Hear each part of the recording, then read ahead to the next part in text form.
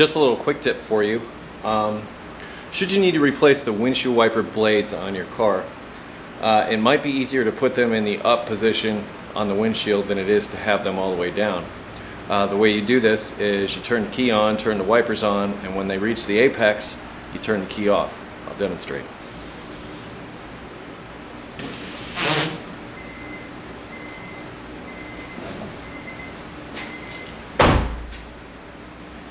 May find it much easier to remove the blades with them in the up position. Be careful when they're like this because if they come slamming down they could crack your windshield.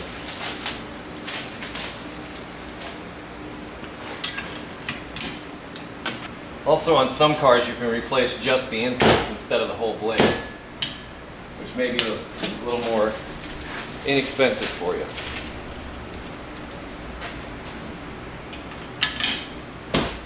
And there you go. Another quick tip from Eric the Car Guy.